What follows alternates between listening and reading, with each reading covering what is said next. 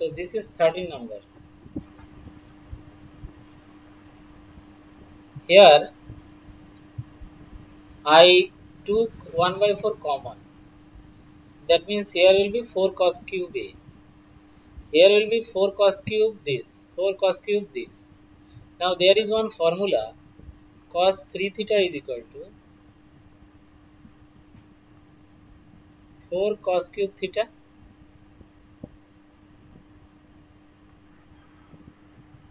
minus 3 cos theta. So from here cos cube theta is equal to this will come this side. So 1 by 4 cos 3 theta plus 3 cos theta.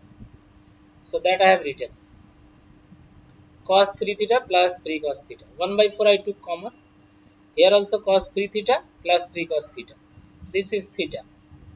Here also cos 3 theta 3 into this here plus 3 cos theta is this. Theta is this here. Now see 3 cos theta this will also come 3 cos theta.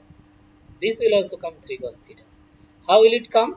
4 into 90 plus 60 no sorry 4 into 90 plus 3 so it will come in the first quadrant. Cos will be cos 3 and this one also uh, 90 into 8 8 into 90 plus 3a this will also come in the first quadrant. Cos will be cos 3a. So total 3 cos 3a will come and this is here. Now 1 by 4 into this, this and this I have written here. Now this one you see 1 into 90 plus 30 and this is 3 into 90 minus 30. If you break in this way then this one will come this and this one will come this.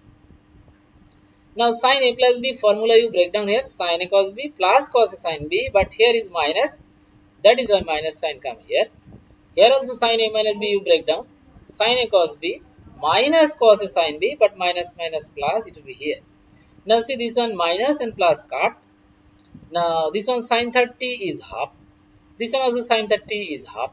So half cos a minus half cos a.